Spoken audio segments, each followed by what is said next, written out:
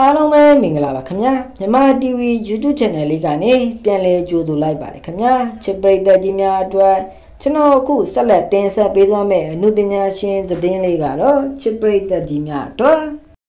ဘောလုံးသမားမက်ဆီတို့ဇနီးမောင်နဲ့ရိုရာလာတို့တနာကြောင့်သူမတို့ဇနီးမောင်နဲ့နှစ်ယောက်ရဲ့တပုံနဲ့ပြသလာတဲ့နေမျိုးအောင်ရဲ့ဇနီးအကြောင်းပဲဖြစ်ပါတယ်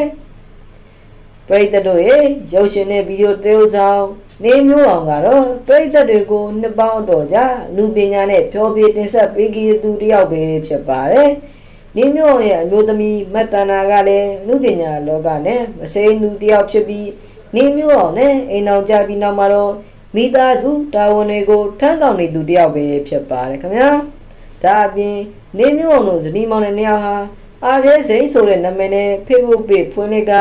ပြိသက်တွေနဲ့ထီတွေ့ဆက်ဆံနေသူတွေဆိုလဲမမှားဘူးပေါ့ခင်ဗျာ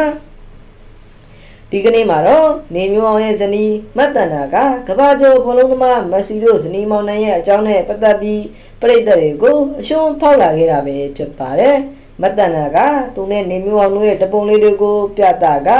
ဘေးပဲဘေးပဲယူရိုမက်ဆီလောင်းနဲ့တက်မလာနဲ့ဆိုပြီးအရှုံးဖောက်လာခဲ့တာပဲဖြစ်ပါတယ်နော် နေမျိုးအောင်တို့ဇနီးမောင်နှံကတော့တားနှစ်ယောက်မိပါလေဆိုပေမဲ့လူငယ်တွေအတိုင်းပေါ်ပါတော်လာပြီးစိတ်သွားတိုင်းကိုပါတဲ့ချစ်စရာဇနီးမောင်နှံလေးပဲဖြစ်ပါတယ်။နေမျိုးအောင်တို့ဇနီးမောင်နှံနှစ်ယောက်အခုလိုပဲထာဝရချစ်သွားနိုင်ပါစေလို့ကျွန်တော်ဆုတောင်းပေးလိုက်ပါတယ်ခင်ဗျာ။